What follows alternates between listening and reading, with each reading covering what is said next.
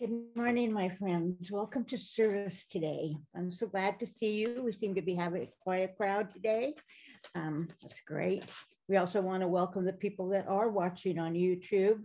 Um, we're glad that you have that way of staying in touch with this congregation, and we'd like to invite you, if you are available on a Sunday morning, to join us at 9:30 Pacific time on Zoom Live. But in the meantime, enjoy the um, YouTube version. I, when I say you're welcome, I, I like to follow that up by reading to you the first paragraph of our welcome statement. The community of Christ Church is an open and affirming Christian community who lives in God's love and grace. We strive to welcome and include all people because we believe God loves and welcomes all people. And we commit to work for racial justice in our church and our world.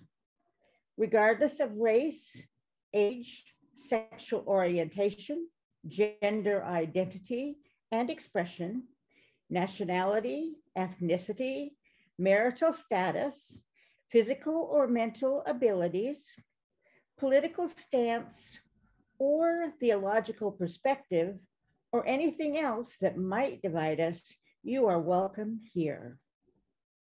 Thank you for joining us.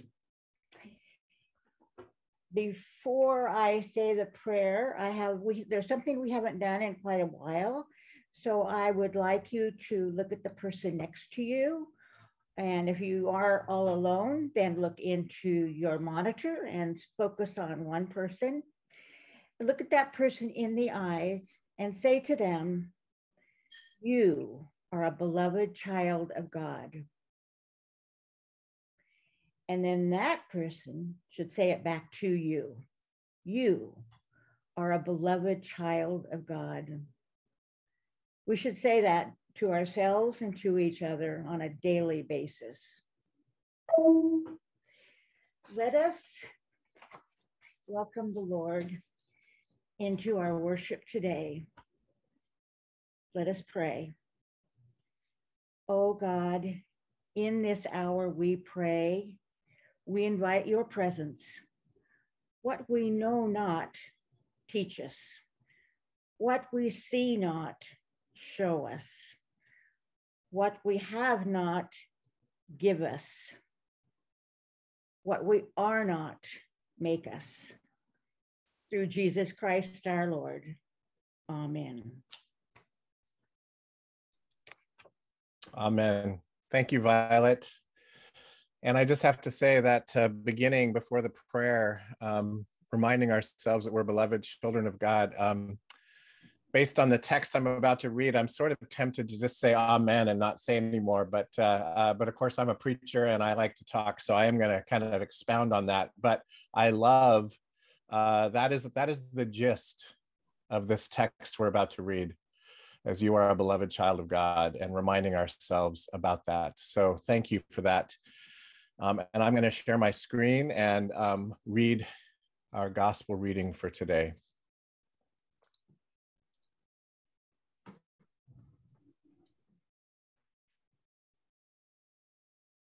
Our gospel reading comes from the Gospel of St. John, the fourth chapter. Now, when Jesus learned that the Pharisees had heard Jesus is making and baptizing more disciples than John, although it was not Jesus himself, but his disciples who baptized. He left Judea and started back to Galilee. But he had to go through Samaria. So he came to a Samaritan city called Sychar near the plot of ground that Jacob had given to his son Joseph. Jacob's well was there, and Jesus, tired out by his journey, was sitting by the well. It was about noon a Samaritan woman came to draw water, and Jesus said to her, Give me a drink. His disciples had gone to the city to buy food. The Samaritan woman said to him, How is it that you, a Jew, ask a drink of me, a woman of Samaria? Jews do not share things in common with Samaritans. Jesus answered her, If you knew the gift of God and who it is that is saying to you, Give me a drink, you would have asked him, and he would have given you living water. The woman said to him, Sir, you have no bucket and the well is deep. Where do you get that living water? Are you greater than our ancestor Jacob, who gave us the well and with his sons and his flocks drank from it? Jesus said to her, Everyone who drinks of this water will be thirsty again. But those who drink of the water that I will give them will never be thirsty. The water that I will give you will become in them a spring of water gushing up to eternal life. The woman said to him, Sir, give me this water so that I may never be thirsty or have to keep coming here to draw water. Jesus said to her, Go, call your husband and come back. The woman answered him, I have no husband. Jesus said to her, You are right in saying, I have no husband, for you have had five husbands, and the one you have now is not your husband. What you have said is true. The woman said to him, Sir, I see that you are a prophet. Our ancestors worshiped on this mountain, but you say that the place where people must worship is in Jerusalem. Jesus said to her, Woman, believe me, the hour is coming when you will worship the Father, neither on this mountain nor in Jerusalem. You worship what you do not know. We worship what we know, for salvation is from the Jews. But the hour is coming and is now here when the true worshipers will worship the Father in spirit and truth. For the Father seeks such as these to worship him. God is spirit, and those who worship him must worship in spirit and truth. The woman said to him, I know that Messiah is coming, who is called Christ. When he comes, he will proclaim all things to us. Jesus said to her, I am he, the one who is speaking to you. Just then his disciples came. They were astonished that he was speaking with a woman, but no one said, What do you want? or Why are you speaking with her? Then the woman left her water jar and went back to the city. She said to the people, Come and see a man who told me everything I have ever done. He cannot be the Messiah, can he? They left the city and were on their way to him. Meanwhile, the disciples were urging him, Rabbi, eat something. But he said to them, I have food to eat that you do not know about. So the disciples said to one another, Surely no one has brought him something to eat. Jesus said to them, My food is to do the will of him who sent me and to complete his work. Do you not say four months more, then comes the harvest? But I tell you, look around you and see how the fields are ripe for harvesting. The reaper is already receiving wages and is gathering fruit for eternal life, so that sower and reaper may rejoice together. For here the saying holds true one sows and another reaps. I sent you to reap that for which you did not labor. Others have labored, and you have entered into their labor. Many Samaritans from that city believed in him because of the woman's testimony. He told me everything I've ever done. So when the Samaritans came to him, they asked him to stay with them. And he stayed there for two days, and many more believed because of his word. They said to the woman, It is no longer because of what you said that we believe, for we have heard for ourselves, and we know that this is truly the Savior of the world. This is God's good news for us today. Sisters, brothers, siblings in Christ, grace to you and peace from God our Creator and from our Lord and Savior Jesus the Christ. Amen.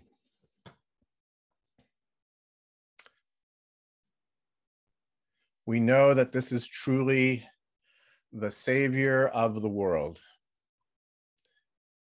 When we talk about Jesus as being the Savior of the world, oftentimes we're referring to the fact that Jesus saves us from our sins.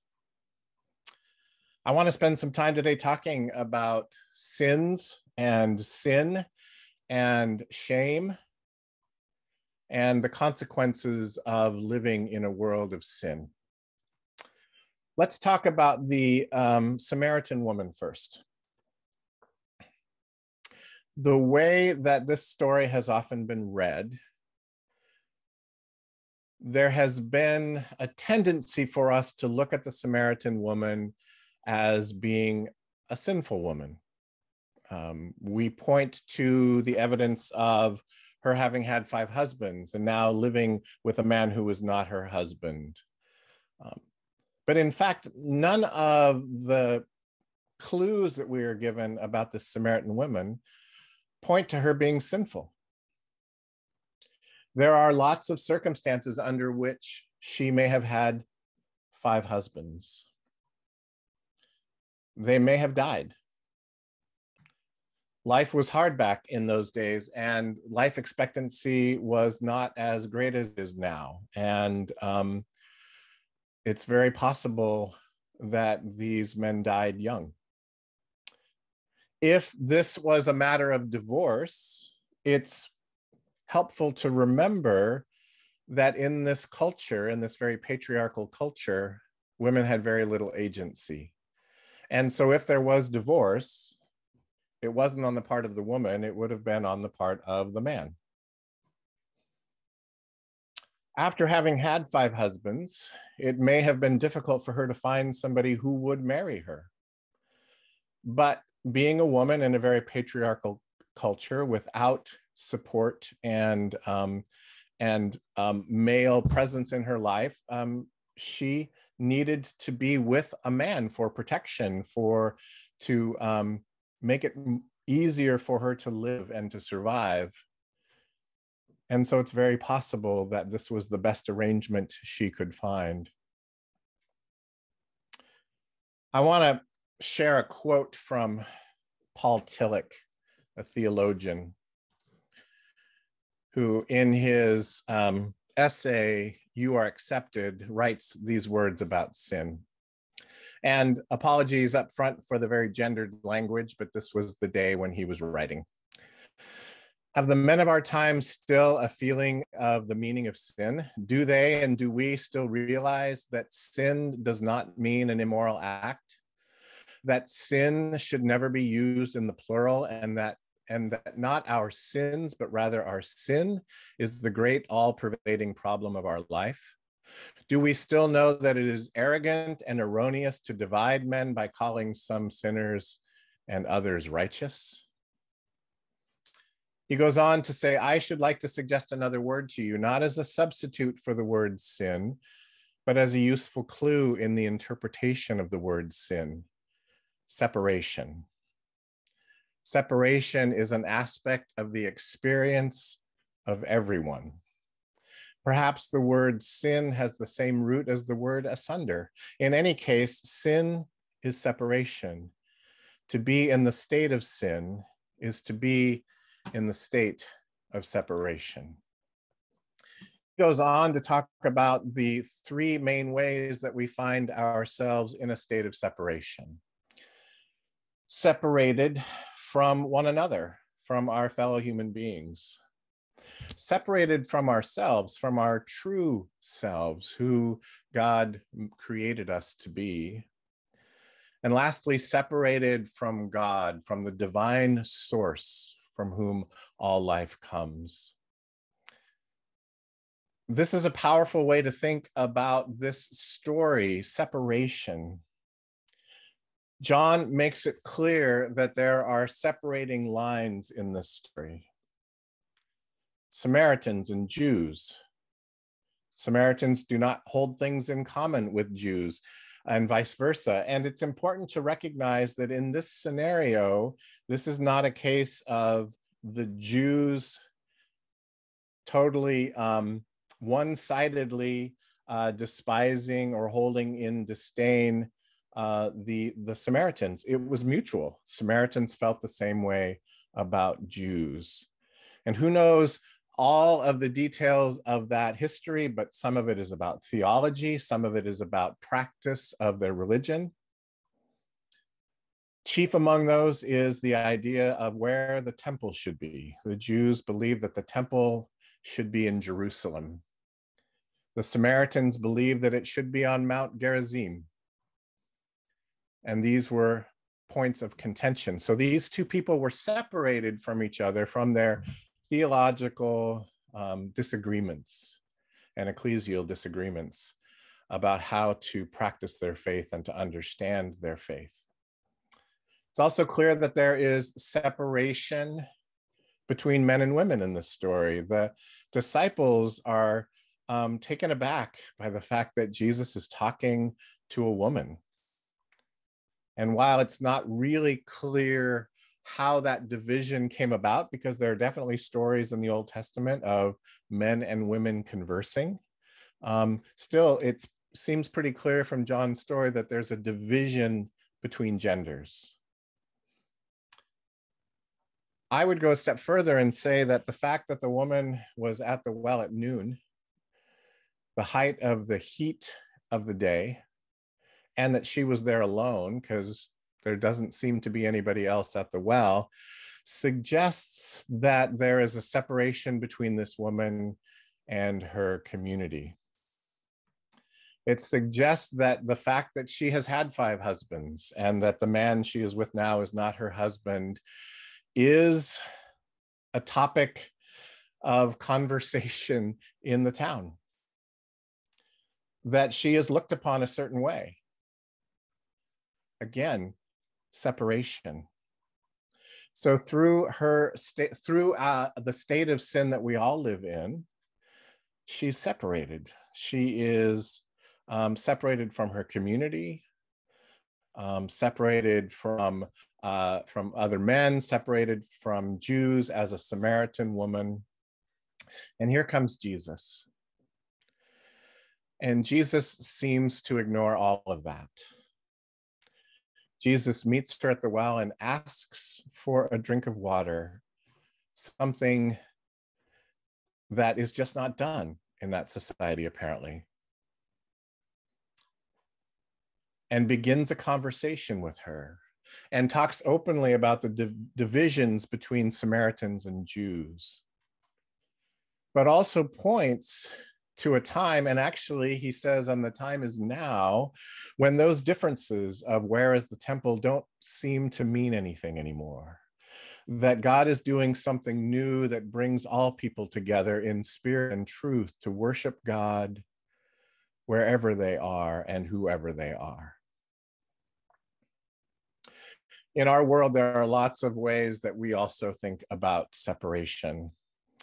And it plays out as sin. Division can be um, can have di dire consequences on the well-being of people, being divided and set apart because of who they are uh, what their skin color is, what their ethnicity is, whether they are a Christian or not, or whether they are a Muslim or not, or any religion.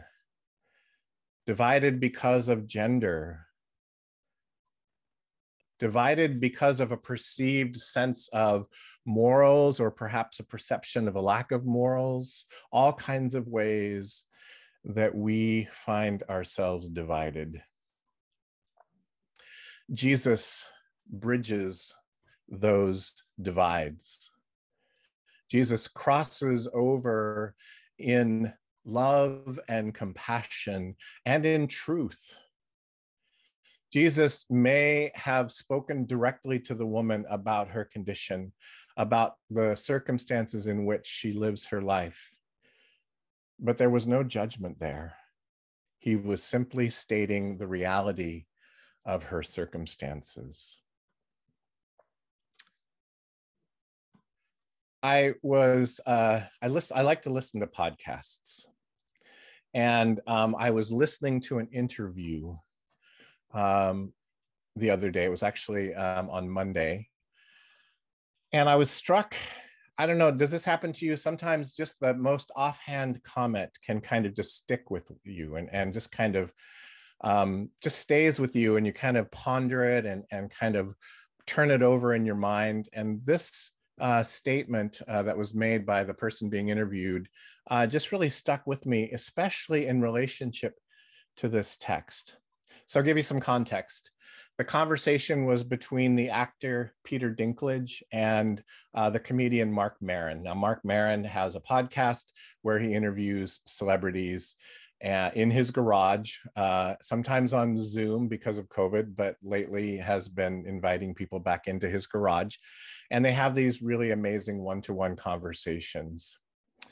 Some of you may be familiar with Peter Dinklage. He is an actor. Um, his breakthrough role was in The Station Agent, um, known for playing Tyrion Lannister in Game of Thrones. Um, and and you may, if you if you're not familiar with Peter Dinklage, it's important for you to to know that Peter Dinklage was born with a form of dwarfism that affected his bone growth. So he stands uh, at four foot five, and um, and just is a, an amazing actor. Last year, he was in a film uh, that I haven't seen yet. I'm really looking forward to seeing. It's a version of, of the story of Cyrano de Bergerac. And in fact, his wife wrote the screenplay for this movie, uh, Erica Schmidt. And she made some interesting choices in this film. She decided not to give Cyrano a big nose. She decided to leave that part out of the story. Um, but just to tell this story, for those of you maybe who aren't familiar with Cyrano, about this uh, charming but shy person who has uh, who is in love with this young woman, um, but doesn't feel, um, and of course, the original story was because of his nose, didn't feel that he uh, could win the girl. Um, so uses his wit and his um, flowery language to help uh, a young man named Christian uh, woo her. So Cyrano puts words in Christian's mouth so that he can woo uh, Roxanne, the girl. But as I said in this story, um, Erica Schmidt decided to leave the nose out. And after reading the script, Peter Dinklage said, I'd like to read this. I'd like to, I'd like to be in this story.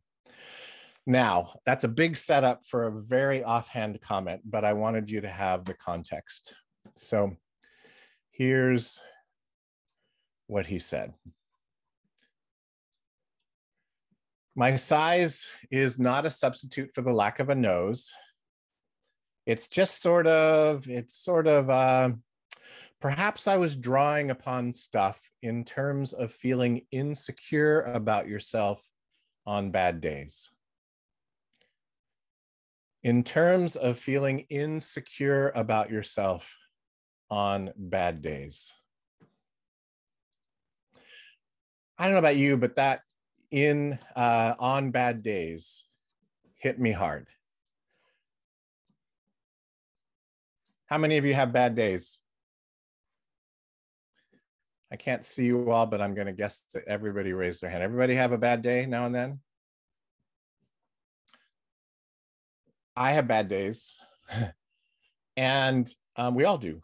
And what I notice about bad days is that when I'm having a bad day, um, I am less likely to look in that mirror that violet or, or look look across at somebody else and hear the words you are a beloved child of god right? All of my flaws all of my shortcomings uh, sort of come to the surface when i'm having a bad day. I can be insecure and self-conscious and forget that i am a beloved child of god that i am beloved by people in my life um, that I have gifts to get to, to share. Um, we all go through that. We all have those bad days. And, you know, the bad days can be a variety of, of reasons. Um, I don't know, for me, it can be uh, too many days of rain and gray can give me a bad day. Um, if I don't get enough sleep, I can have a bad day if somebody uh, says something to me that feels like an insult or an attack, it can make me have a bad day. Now that's on me, but still, could, that can be the thing that the that triggers a bad day, right? And when I have a bad day, I am also insecure, and I forget that I have gifts, and that I am worthy of love, and um, and when i'm having a good day when i'm having a good day when the sun is out um, and um, I'm, i've got enough rest and i'm you know well hydrated and all those things i can actually look at my the things that maybe people would call flaws or shortcomings or things that make me different or or unique or weird uh, and embrace those things because those make me uniquely who I am. And that's a difficult thing to do, but I it's easier for me to do that when I'm having a good day. And it's harder for me to do that when I'm having a bad day. So I appreciate this very capable, very amazing actor who acknowledges insecurity on bad days. I would imagine that Peter Dinklage has a lot of good days where he is like embracing who he is fully. And then when he's having a bad day, find himself insecure about whatever makes him different. We all do that. I want to suggest that there are some people who have more bad days than I than I do uh, people who have more bad days because of the circumstances or because of the community around them. People who, because of uh, their skin color or because of their age or because of their financial uh, or economic status, are looked down upon by other folks making it harder for them to have a good day, making it harder for them to look in the mirror and say, You are a beloved child of God. Now, I hope that they have good days. I hope they have good days where they can, can recognize their giftedness and their belovedness. I am wondering if the woman at the well was having a bad day, that she was at the well by herself in the middle of the heat of the day bringing water back home, finding a time when nobody else would be there so she wouldn't be the subject of gossip, so she wouldn't be the subject of ridicule, so she wouldn't be set apart or othered for who she is. And she encounters Jesus. And Jesus sees her, all of her, all of her giftedness and belovedness, all of the things that maybe the world would say are shortcomings or flaws or sins or whatever, and sees her and proves to her that he sees her by naming aspects of the circumstances of her life that she hasn't even uh, disclosed, perhaps because of shame. Oftentimes, when we're having bad days, Oftentimes, when the world is telling us that we are not worthy of love, we can fall into a state of shame where we're ashamed of the things that we have done or have said or or who we are or maybe we're feeling like we just are not beloved and feeling ashamed. The woman runs back to the city to tell people come and see this person who told me everything that I did. And I believe the subtext of that statement is who told me everything I have ever done without shame or blame or judgment, just loving, direct acknowledgement of the reality of our lives. So I wonder and Jesus continues to cross borders. Jesus continues to bridge those divisions. My goodness, he goes, uh, the, the Samaritans come out to see him. And again, he is a, a Jew amongst Samaritans. And they come out to check this guy out because they heard this woman say, um, You should check him out. He knows everything I've ever done. And Jesus stays with them stays with them for two days, which means he is like residing in their homes and breaking bread with them and making connections with them and breaking down all of those separations that we sometimes take for granted, that we sometimes believe are insurmountable. Jesus, through love and compassion, breaks through the separation, breaks through the shame that we often experience as a result of that separation. We will continue to fall short. We will continue to find ways to, um, to divide ourselves. And on bad days, we will use those divisions to shame or be shamed. I wonder if our role as Christians, as a church, as people who follow the crucified and risen Jesus, if our role in life is to reach out and do our best to give our neighbors and ourselves as many good days as they can have.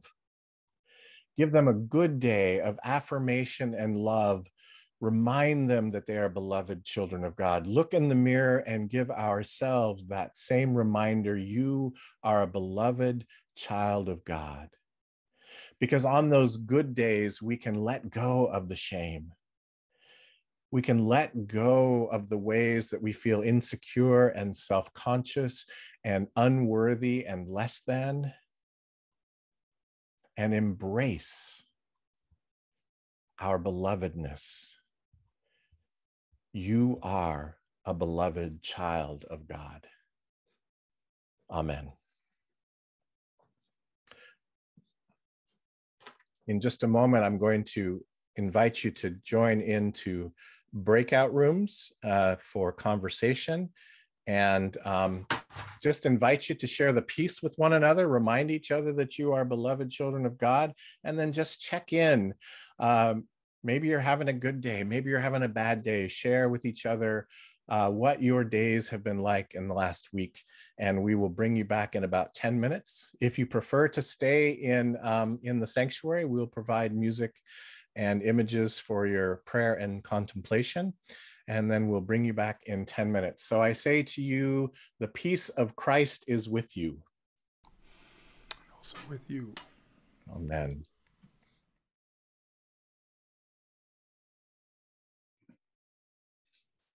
Lord, you showed us true humility by becoming one of us.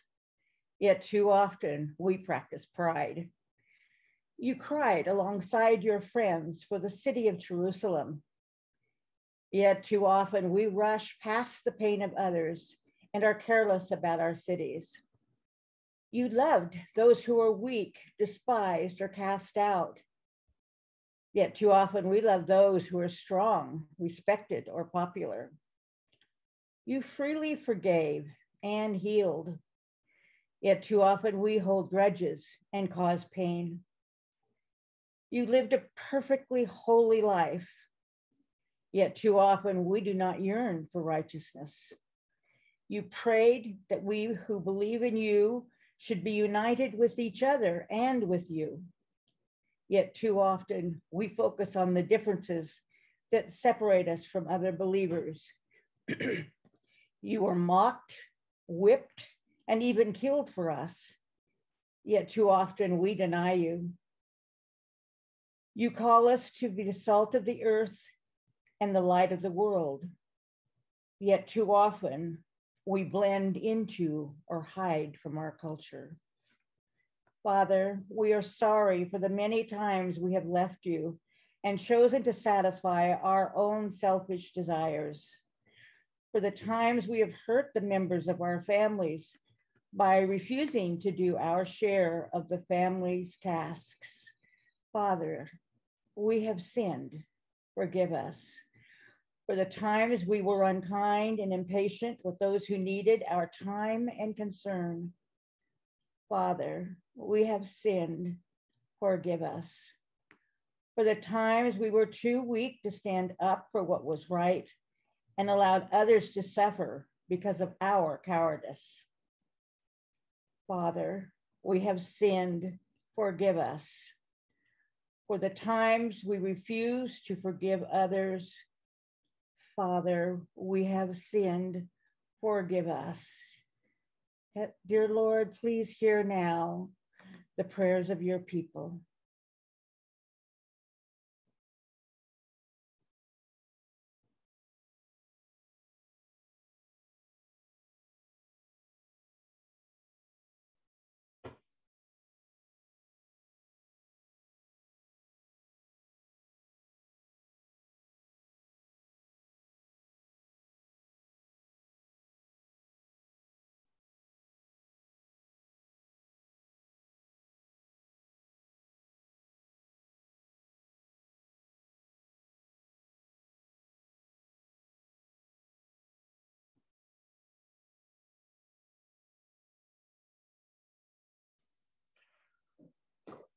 Lord, um, please help all of us to reach across the divides that separate us in all the ways that separate us.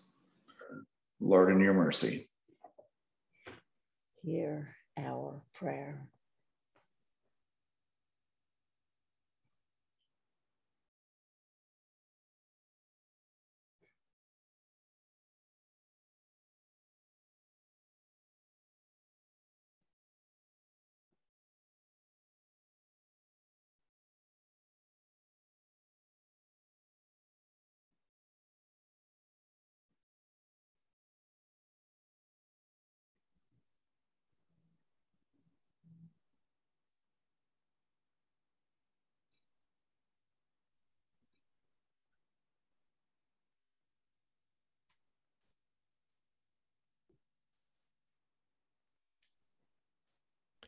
Loving and gracious God, in a world where we are constantly tempted to place people into categories, to make decisions about who is worthy and who is not, who is within the circle of love and grace and who is outside of it,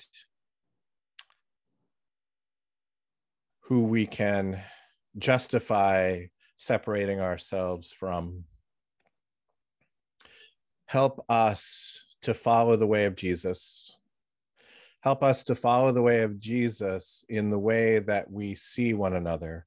May we see ourselves and our neighbors not as the world sees, but through your gracious and loving eyes, dear God.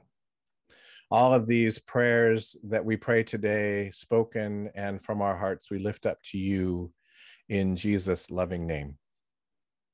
Amen. Our worship continues now with our offering, uh, and we celebrate and um, uh, give gratitude for all the generosity of our people and support of this mission and ministry. If you feel called to um, to uh, uh give an offering today, there is a, um, a link in the chat uh, to our giving page. And um, during that time, we will also um, appreciate and give thanks to our worship team for their gift of, of music as we sing Holy Spirit. Invite you to stay muted and sing along.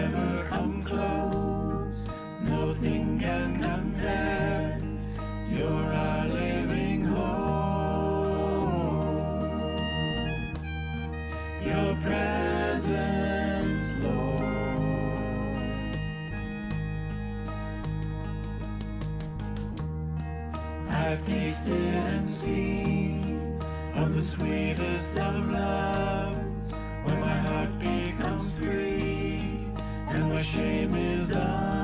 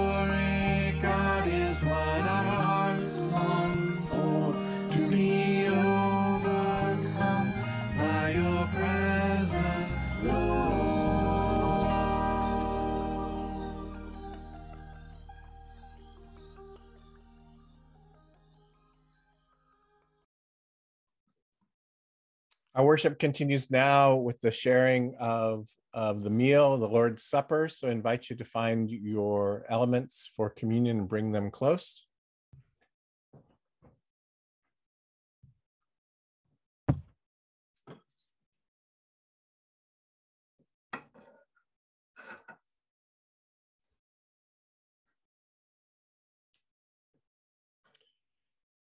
In the night in which he was betrayed, our Lord Jesus took bread, gave thanks, broke it, and gave it to his disciples, saying, Take and eat. This is my body given for you. Do this for the remembrance of me. Again, after supper, he took the cup, gave thanks, and gave it for all to drink, saying, This cup is the new covenant in my blood, shed for you and for all people for the forgiveness of sin. Do this for the remembrance of me. Lord, remember us in your kingdom and teach us to pray.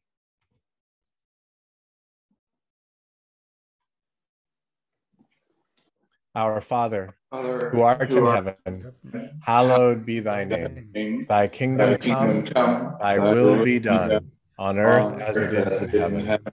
Give us Give this day our daily bread, bread. and forgive us our trespasses, as we forgive those who trespass against us.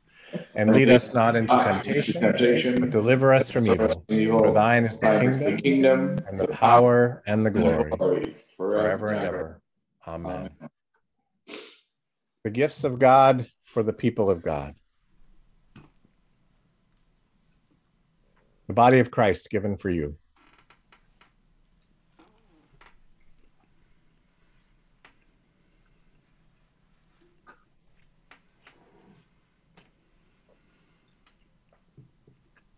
The blood of Christ shed for you.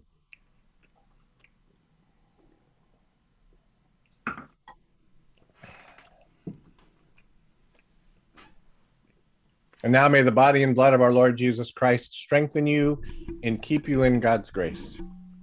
Amen. And now receive the benediction. The Lord bless you and keep you. The Lord's face shine on you with grace and mercy. The Lord look upon you with favor and give you peace. Amen. We have some current events in our community news to share with you. First, I want to remind you of our winter needs collection that we're in um, doing together with the Shepherd of the Valley Lutheran Church. The donations are being accepted through Sunday, the February the 13th. Um, there's an article in the current Faith News that you can read, because the print's kind of fine on the screen. But you have an option to make a financial donation if you would like to. There's a drop down menu on our giving page that indicates that it's for Greater Good Northwest. And that money will be forwarded directly to them, which is then again directly used for client needs, not for any, none of it goes for administration. We are asking for uh, new and gently used items. And gently used means they're it's they're able to, you're able to wear them and they look nice. They don't have broken zippers or missing buttons or big tears or stains on them. They're looking for all sorts of winter weather gear and blankets and socks and um, sleeping bags if you have some, um, raincoats, ponchos, hats, gloves, and also hygiene items for the homeless, uh, such as toothbrushes, toothpaste, shampoo, and conditioner, all the kinds of things that people might need who don't have a um, physical facility to use. We um, they there is a drop off site at Shepherd of the Valley that is open on Monday, Wednesdays, and Fridays from noon to 4 p.m. in the narthex. So Monday, Wednesday, Friday, noon to 4, drop them off there at the narthex, and um, we'll make sure that they that they get these. Oh yeah, by the way, back to the gently used, they also need to be clean, of course. So we want to remind you that we're still on track, hopefully, to worship together it at Shepherd of the Valley on Saturday, the February the 26th at 5 p.m. Of course, Omicron is still out and about and, and making people sick, but we're watching the numbers and praying that we will be able to get together and we will announce the details of how and what the protocol will be uh, as we get closer to that date and we're sure that we'll be able to move forward. But in the meantime, keep that date, February the 26th, the Saturday at 5 p.m. Keep that open so that you'll be able to join us should we be able to do that. There's a reconciling in Christ meeting this week. It's always the first Thursday of the month and it always sneaks up on me and I I'm I'm never quite prepared for it. So it's this Thursday at 6:30 p.m. There will be a link in the Faith News that you can attend. We'd love to have you. We're making a variety of plans and trying to help other churches out that are beginning the journey um, and figuring out a way to get the word across and to do more educational events. So join us this Thursday at 6:30 p.m. February celebrations, we're looking for those people that have special dates coming up in the month of February, birthdays, anniversaries, um, significant events of any type. If you would uh, make sure that that information gets to Rachel at in the admin office, she can add it to the list, and um, a list will be prepared in the next Faith News that will show all those people with birthdays and anniversaries, and then we will be able to send them a card or a note or a text and acknowledge their special day. Their way of staying in touch with our neighbors. I also want to remind you about Faith News. It comes out every Thursday, generally speaking, in the afternoon.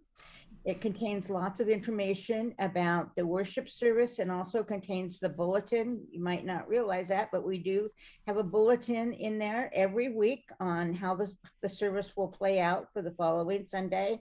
It, there's online, online programming. It tells you um, not only our own church um, task force and meetings, but also meetings that are in the Oregon Synod or the um, e, um, various other groups that you might want to take part of. So it's full of newsworthy information. If you're not on the list, contact Rachel and she will add you to that. Um, if you are getting the faith news and you think somebody else, whether they're a Lutheran or not, might enjoy coming to some of our events, just forward the email to them and they'll have the links.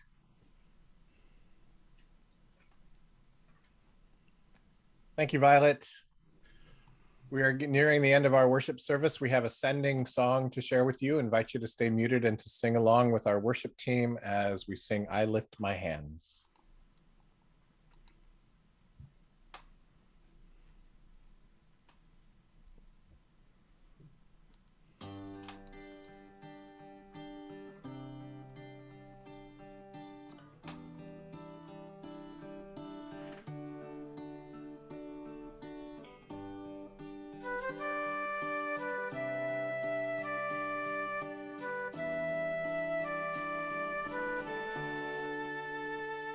Be still, there is a healer.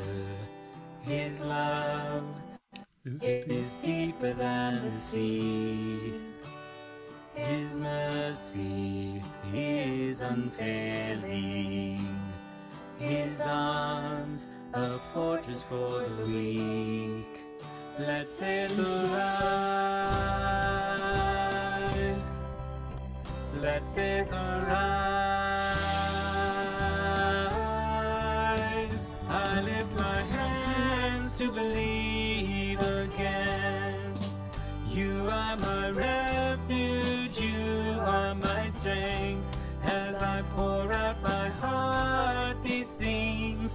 Remember.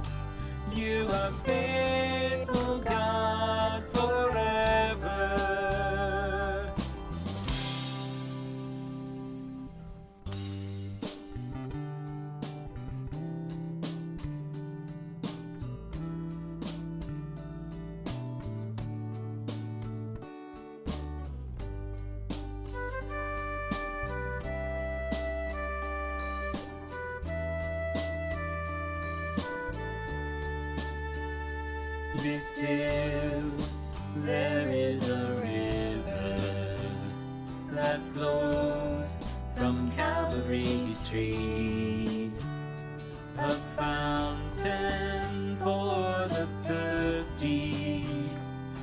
Grace that washes over me, let faith arise.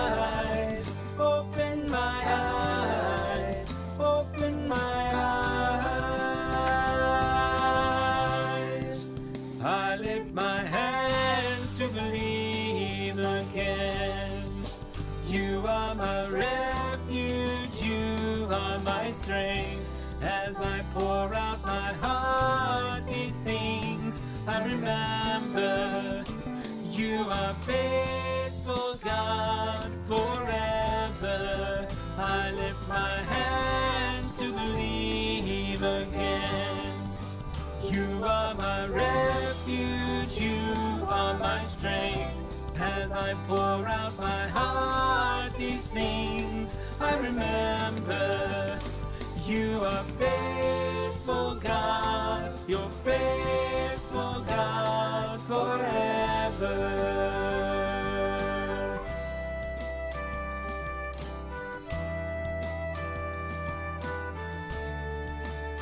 faith arise.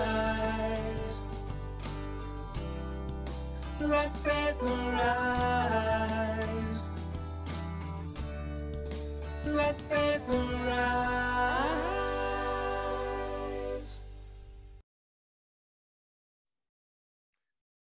Go in peace to love and serve our God.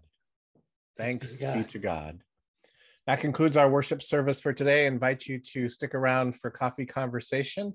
If you're heading out, we wish you a blessed week and look forward to seeing you again next Sunday.